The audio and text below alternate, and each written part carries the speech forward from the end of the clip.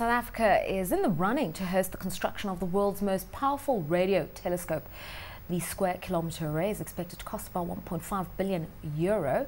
Joining us now on uh, the project's economic significance for the country is Dr. Bernie Fanaroff, Director of the Square Kilometre Array Project. Thanks so much for your time. Thank we you. keep on hearing about it, everybody's banging on about it. What is the Square Kilometre Array? It will be the world's largest telescope. It's Yeah. a radio telescope, so it picks up radio waves from the universe and it will be powerful enough to see right back to before the very first stars formed in the universe 14,000 million years ago. I mean, other than something that maybe astronomers are fascinated about, why is this of any use to my life, to the rest of South Africa? Well, the science it does is very exciting. So it attracts young people into science and into engineering. And it also attracts some of the best researchers internationally to either work in South Africa or collaborate with our universities. Mm-hmm. Technologically, astronomers are always pushing the boundaries of technology. They want to see things which are very faint and very far away.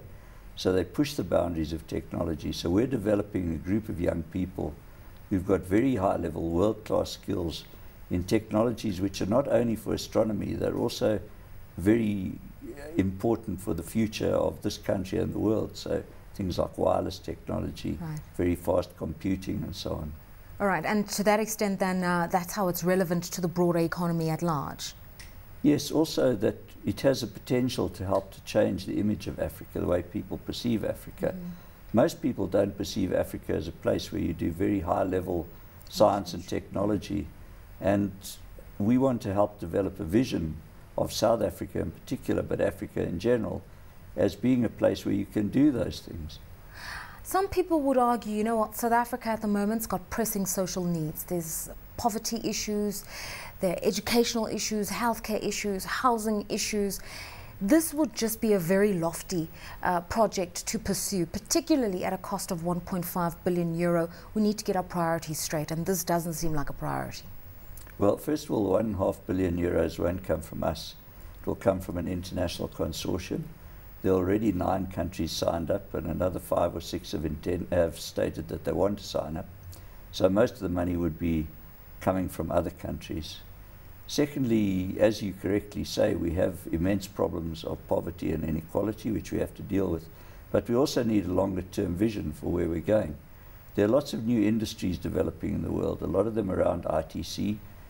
Those are going to be dominant in world trade. We can make a choice. We can either marginalize ourselves from that future global economy, or we can develop the skills and the capabilities Right. that we can play in that economy and play a leading role in that economy. Well, effectively, it's a contest right now between South Africa and Australia. What does South Africa have to leverage? What have we already done to demonstrate capacity? We certainly have the will, but what do we have as the building blocks? We've got a very good site. It's far away from people, which is what you want, but it's got good infrastructure. The cost structures are very good to build in South Africa and in Africa. We built the first part of the Meerkat telescope. That's a smaller version of the square kilometre array, and we did that for a number of reasons. We wanted to build up a program where we could attract young people, and we've given out since 2005 nearly 300 bursaries, uh, many of them from our other African uh, partner countries. So the Meerkat telescope has helped us to change the perception that you can't do this kind of thing in Africa, and it's really improved the way people see us. Right. You talk about uh, drawing some human capital from partner countries. Which are those partner countries? Because many uh, would also be asking, how would this benefit the rest of the continent, and if not the continent, at least the sub-region of Southern Africa? We're working with eight other African countries Namibia, Botswana, Mozambique, Mauritius, Zambia, Madagascar, Kenya, and Ghana. Many of the students who've come here as part of our program have gone back to those countries. So, for the first time now, you have astronomy being taught in Kenya, in Madagascar, in Mozambique, in Botswana, starting in Ghana and Zambia now. So, you're bringing young people into science and engineering in those countries. But it's also an iconic project. It's the world's largest science infrastructure. Mm-hmm. So it raises the profile of science and technology as an issue in the development of Africa. Science and technology are an issue for development, and governments are recognizing that. The Ghanaian government Right. we're working with now Vodafone has donated a 30 meter satellite dish, right. which we're converting for astronomy with the Ghanaian government.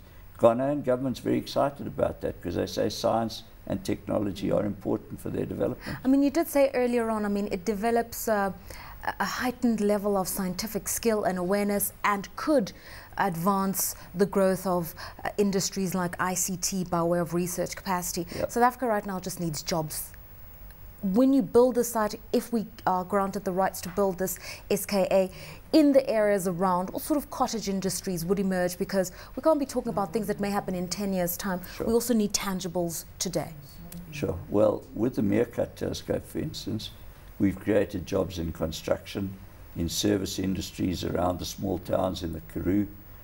We're creating jobs in industry in the Western Cape primarily, but in other parts of the country, which are providing services to us building radio receivers, making printed circuit boards, and so on. So we are creating jobs now. Mm-hmm. If the square kilometre array comes here, there'll be a lot more jobs in construction. There'll be a lot more jobs in maintenance, in operations, in mm-hmm. servicing, and then, of course, in, in building things like yeah. electronics.